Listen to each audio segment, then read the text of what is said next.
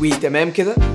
السلام عليكم. ازيكم؟ عاملين إيه؟ والفيديو بتاع النهارده بنعمله كل فترة. كل فترة كده بعد حدوث حاجة اسمها استقرار الفئة السعرية. كل فترة كده بنلاقي إن عدى 3 4 شهور مفيش موبايلات جديدة نزلت أو الموبايلات اللي هي المميزة ما زالت موجودة مفيش حاجة مميزة جديدة نزلت. فبنقدر ساعتها نحكم بقى بعد الاستخدام المطول إيه أفضل موبايل ممكن تشتريه في الفئة السعرية دي. والفئة السعرية اللي معانا النهارده هي فئة ال 4000 جنيه. من فترة كده كنت عملت الفيديو ده واتكلمت عن موبايل مميز. هو أي نعم كان موبايل قديم كان ال Poco Phone F1 ولكن كان بيقدم تجربة مميزة. ولكن دلوقتي آه في موبايلات جديدة مميزة. نزلت وال Poco Phone خلاص ما بقاش متوفر.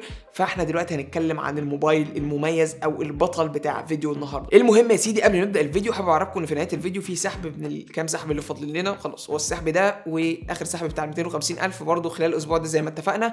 والسحب بتاع النهارده هو السحب بتاع ال Huawei Watch Fit. من فترة عملنا giveaway على ال Huawei Watch Fit. كان سؤال كده على فيسبوك وللأسف ال giveaway اتأخرت بسبب ان إن أنا طالب الساعة أونلاين بقالي شوية أو ال- smart band ال Watch Fit بتاعت آه، واوي طالبها أونلاين واتأخرت عليا وحقيقه أكتر حاجة بتضايقني إن أنا أطلب حاجة أونلاين وتتأخر وده كان سبب إن ال giveaway أو السحب بتاعها يتاخر ولكن كملوا الفيديو الآخر عشان تعرفوا مين اللي كسب وطبعا قبل ما نبدأ الفيديو تنزل بتاعت الفيديو كده تعمل like جميل وتعمل subscribe وتفعل زر الجرس عشان يوصلك إشعار بكل فيديو جديد أنا انزله ويلا بينا نتكلم عن وحش فئة ال 4000 جنيه اللي يستحقها عن جدارة. ومن غير كلام طبعا هو ال Poco X3 NFC الموبايل ده يعني بعد ما جربته أكتر فأكتر هو آه الموبايل فيه شوية ملاحظات وحاجات كده نقف عندها هي تعتبر آه، تضحيات أو عيوب من نظر بعض المستخدمين ولكن الموبايل الصراحة بيقدم لك توليفة هي التوليفة الأقوى لحد 5000 جنيه. وأكتر كمان من 5000 جنيه لو إحنا آه، بنتكلم على مبدأ القيمة مقابل السعر إن أنت كل جنيه بتدفعه بتاخد مقابله ميزة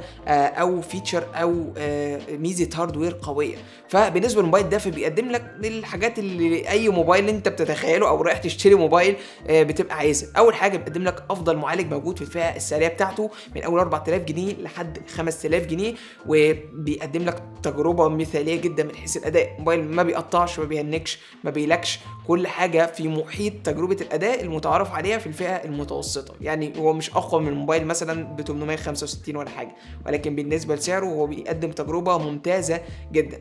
ومش معنى كلامي إن هو هيعلق ولا هيهنج زي ما قلت لكم الموبايل ما فيهوش غلطة من حيث الأداء حيث التصفح والاستخدام اليومي ومن حيث الألعاب لو أنت gamer برضو فالموبايل ده يعتبر موجه لل gamers بشكل قوي قوي فكلكم Snapdragon 732G قدم تجربة ممتازة من حيث الألعاب. وبالنسبة للمنافسين اللي يعتبروا منافسين مضحكين في الفئة السعرية دي من حيث الأداء. ففي أرقام غريبة قوي هتشوفها. ضيف على ده كمان إن ال Poco X3 أصلا سعره نزل. فالنسخة ال 128 سعرها دلوقتي في المحلات بتروح ما بين 4150 ل 4200 جنيه ودي حاجة مضحكة جدا لأن أنت كمان هو أصلا كان سعره دمار بالنسبة للمنافسين تخيل المنافسين زي ما هم في نفس السعر وهو بيقدم سعر أقل يعني هو سعره نزل كمان فدي حاجة يعني تخليك اللي هو تمام. ما فيش مشكلة قشطة. أنا عارف إن موضوع حرق أسعار شاومي ده بيضايق مستخدمين كتير ولكن هدي لك تركاية ليك كده وللزمن.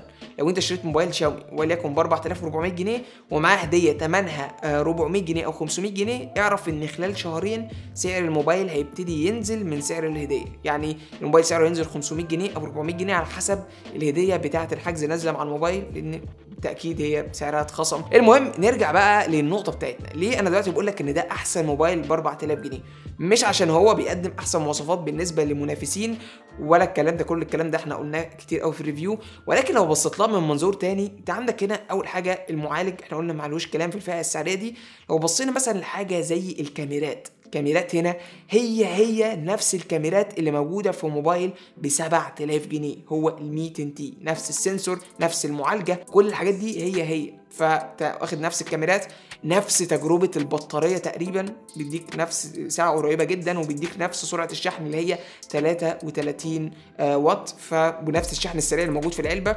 فنقطة كمان نفس برضو مواصفات موجودة ب 7000 وب 8000 جنيه برضو من شاومي. عندك برضو نفس تجربة السماعات الاستيريو برضو الحاجات كده بتاعت الهاشتاكه والدلع. فنفس السماعات الاستيريو اللي موجودة في الموبايل ده هي نفس السماعات الاستيريو اللي موجودة في موبايل من نفس الشركة ب 7000 جنيه.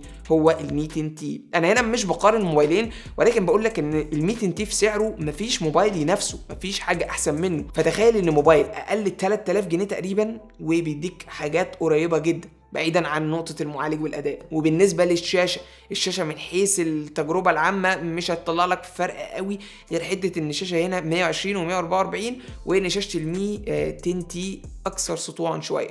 فال Poco X 3 أنا شايفه كتوليفة. وعلى فكرة حتة اللي أنا بتكلم فيه دي إن في حاجات متشابهة لما اتكلمت عليها في ال review بتاع ال Mi 10 T. ناس عجبتني بشكل كتير جدا. مع إن أنا قلت لو أنت مش عايز الأداء مش هيفرق معاك الأداء الجبار ده قوي فوفر فلوسك.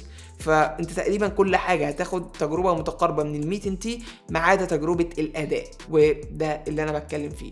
فزي ما قلت لكم لو بصينا بحتة العقل والقيمة مقابل السعر ال Poco X 3 موبايل فلتة. أنا شايف إن هو عمل في السوق شبه اللي عمله آه ال Pocophone F 1 لما نزل. دمار الكاسح اللي هو عمله. وبرده مع ارتفاع سقف طموحات المستخدم اللي شاومي كل شوية بترفعه شوية. يعني أنت كانت طموحاتك مثلا آه فئة ال 700 دي كانت 5000 و6000 جنيه. لا شاومي نزلتها لك لفئة ال 4000 جنيه وفئة كمان ال 3500 جنيه. من 3000 ل 4000 جنيه عندك موبايلات ب 720 G و730 و 732 G فشاومي بتضرب السوق في مقتل. يعني انت بتضرب المنافسين كلهم بشكل غريب.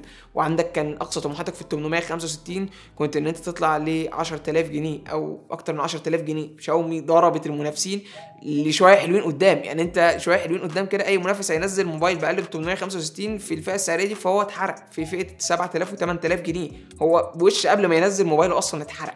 ف تجربة متكاملة جدا. نروح بقى الحاجات اللي ضايقتني أو اللي ممكن ما تعجبكش كمستخدم رايح يجرب ال Poco X 3 أول حاجة ما عجبتش المستخدمين وما عجبتنيش أنا شخصيا الزنة اللي بتحصل في ظهر الموبايل لما بتشغل أي حاجة ويتعلي الصوت شوية يعني قبل ما يوصل للآخر حتى ويكون فيها bass أو فيها فيها حركة. يعني هو أي حاجة بتحاول تستفيد من السماعات الاستيريو بتلاقي إن ظهر الموبايل ابتدى يتهز. والمشكلة دي موجودة في ال Poco X 3 وموجودة في ال Mi 10 T. يعني أنت ما خدتش المميزات الحلوة بس أنت خدت الحلو وخدت الوحش. يعني كله موجود. يعني ما, ما تتضايقش من حاجة. من الحاجات برضو اللي ما تعتبرش أجمد حاجة في ال Poco X 3 هي الكاميرا الأمامية. في الإضاءة الكويسة وفي اضاءه ممتازة هتقدم لك صور جبارة خنفشاريه جدا. ولكن لما تكون الإضاءة بتاعتك قليلة عشان فتحة العدسة هنا صغيرة ففي الإضاءة القليلة الكاميرا الأمامية مش هتطلع لك أحسن صورة أنت تتخيلها. فالكاميرا الأمامية يعتمد عليها في الإضاءة الكويسة بس ولكن في الإضاءة القليلة يعني حاول تثبت إيدك هت... يعني هتضطر أنت تصور الصورة أكتر من مرة بالبلدي.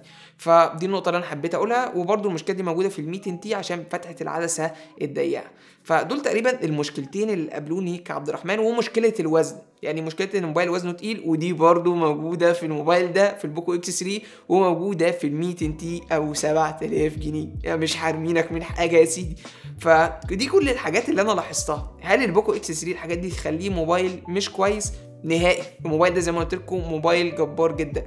وأنا حاليا بجرب ال Mi 10 T Lite. وأحب أقول لكم إن ال Poco X 3 مازال موبايل ممتاز جدا. يعني الفروقات اللي خلينا للمراجعة بتاعت ال Mi 10 T Lite. المهم بعد الكلام ده كله إن ال Poco X 3 من وجهة نظري ياخد جايزه أفضل موبايل ب 4000 جنيه سواء في نهاية 2020 أو في الربع الأول من 2021 لحين ظهور منافس جدير بالمنافسة.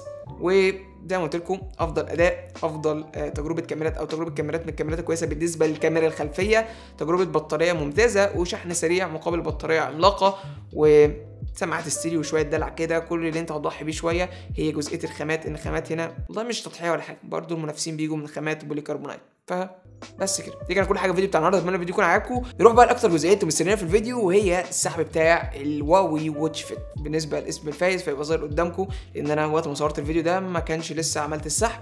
و الف ألف مبروك اللي فايز و hard luck للي لسه ما كسبتش وكل giveaway وانتوا طيبين. ودايما كده تابعوني على فيسبوك تابعوني على انستجرام وأكيد على يوتيوب لسه like انزل تحت الفيديو اعمل like واعمل subscribe وفعل الجرس عشان يوصلك إشعار بكل فيديو جديد اللي احتمال يبقى فيه giveaway وطبعا لو عندكم أي أسئلة اكتبوا في comment تحت الفيديو ده. ولو عايزين تشوفوا المراجعة الكاملة بتاعت الموبايلات اللي إحنا بنتكلم عليها دي كلها هتلاقوها على القناة. وانتظروا review ال Mi 10 T Lite بس كان معاكم عبد الرحمن الهواري. اشوفكم الفيديو الجاي.